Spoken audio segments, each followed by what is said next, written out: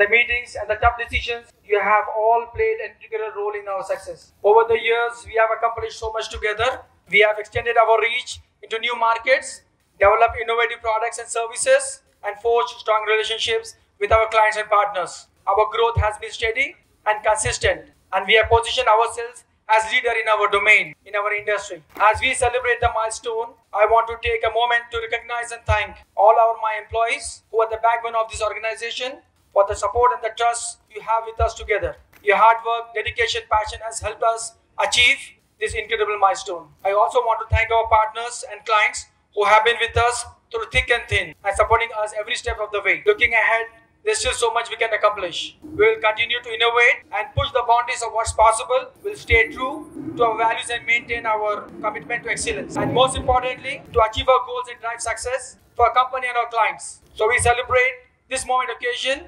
Let's take a moment to reflect on our journey and the incredible accomplishments we have achieved together. And let's look forward to future with excitement, optimism, and renewed sense of purpose. Thank you all for your hard work, dedication, commitment to our company.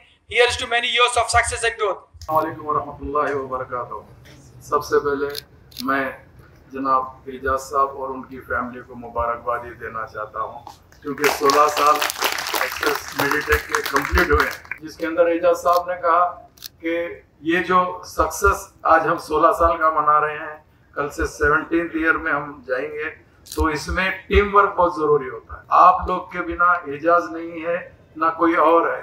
क्योंकि आप सब मिलते हैं तो ही जाके उसका नाम एक सक्सेस बनता है। उस सक्सेस का आज प्रोग्राम हम मनाने जा रहे हैं तो इसके पीछे आप सोचिए एजाज का हार्ड वर्क के साथ साथ आप लोगों की मेहनत थी। मैं तो कहूँगा, ये एक्सेस फैमिली है। इस फैमिली के अंदर हर एक का कंट्रीब्यूशन उतना ही ज़रूरी है, जितना के होना चाहिए कंपनी के लिए।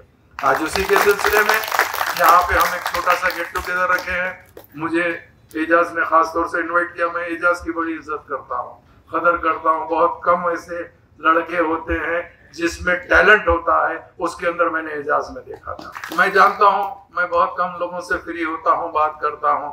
जिस दिन मैं एजाज से मिला था, उस दिन मैं देखा कि इसके अंदर कुछ ऐसे जम से इनशाला अल्लाह ताला एक दिन इसको बुलंदी पे लेके जाएगा।